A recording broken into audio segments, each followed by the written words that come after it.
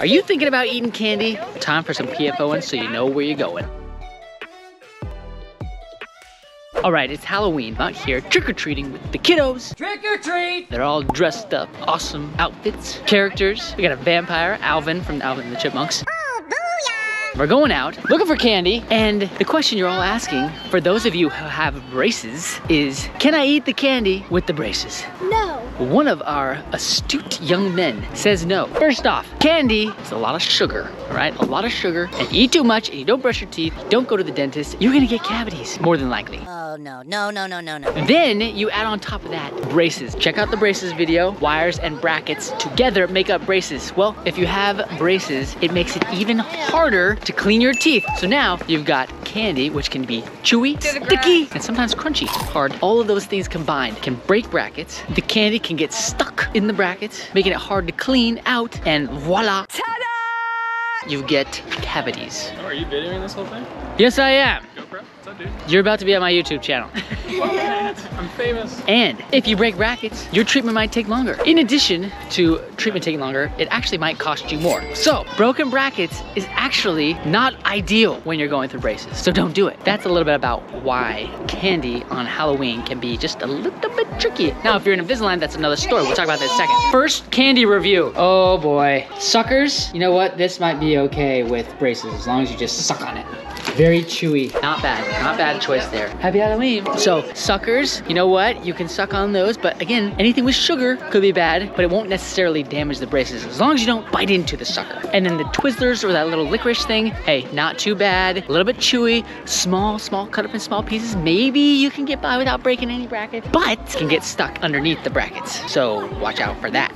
Look at all this madness. Kids running everywhere, enjoying awesome. Okay, so let's say, before we get to our next candy, let's say you decide to go with a little bit of Invisalign. Well, how does Invisalign do with candy? The reality is, is that candy is still candy and can give you cavities if you don't take good care of your teeth. You don't clean them well, brush them, go see the dentist, all that stuff, right, boss? But with Invisalign, if you're taking your trays out appropriately to clean, there's really less concern about breaking things because You have to go in there.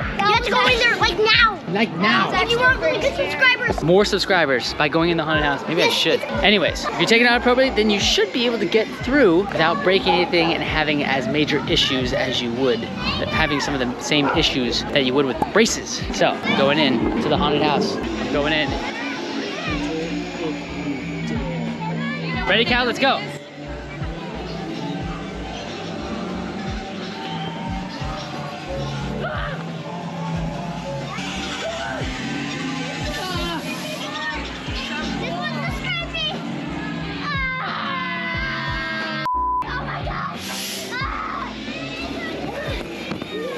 Was awesome. And a little bit of candy. Whoop. These are good. That was awesome. Thank you. Watch out for these. And a little bit of this section.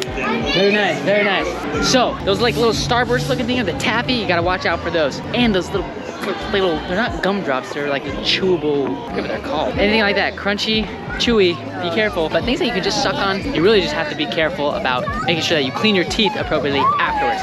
How about that haunted house? I have Iron Man here and his legal guardian. Iron Man, what do you think is the worst candy for braces? Uh, something with chocolate and caramel. Uh, Chocolate and caramel. So Twix, maybe? Chocolate and caramel could be bad. The caramel especially is really chewy. If you bite into that thing, brackets breaking like crazy. Thank you, happy Halloween. Yeah, so that was that was a good idea. That was a good idea. I was thinking airheads. Ooh, airheads are also really sticky, really chewy, hard to clean out from the brackets, and if you can't clean it out, cavities. So maybe not like breaking as much, sometimes the chewy, but definitely if you can't clean it out, you are asking for cavities for sure. When I was a kid, I had uh, Skittles, and that did break one of my braces. Yeah, Skittles, Skittles are hard. You bite into those things, you're asking for it. You're asking for bracket breakages. Okay, I have Alvin from Alvin and the Chipmunks here, What's up, guys? and I'm going to grab into the bag of candy and pull it out, and we are going to decide if this is more of a cavity risk or more of a braces breaking risk.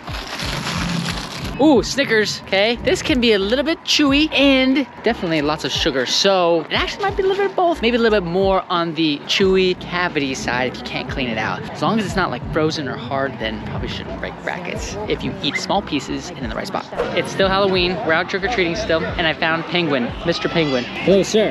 Hello. Okay, so what we're gonna do is we're gonna dig into his bag and decide if it's a piece of candy that is more likely to break a bracket or cause cavities.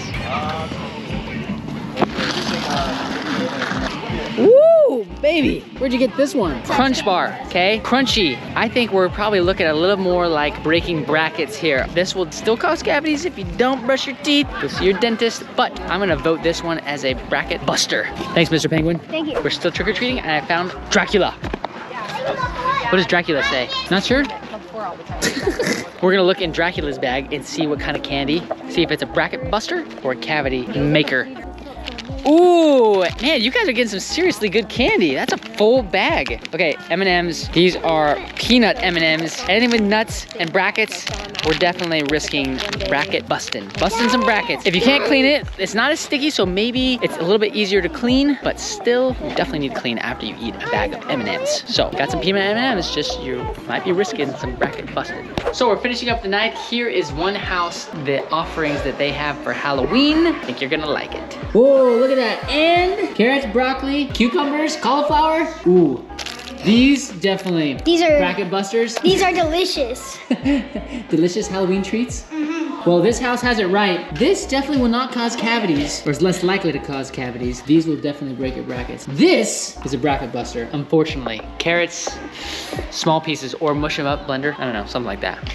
Okay, well, there you have it. Happy Halloween. Few different candies that you trick-or-treaters might experience, and uh, some advice from an orthodontist as it relates to braces, an Invisalign, some bracket busters, some cavity causers. Good luck, all you parents, in deciding what your kids should eat. Try not to break those brackets. We love straight teeth and beautiful bites. If you have any more questions about candies, or breaking brackets, or Invisalign, or carrots, come find us in McKinney and Anna, Texas. That's all I've got. Just a little PFOing so you know where you're going. Packard out.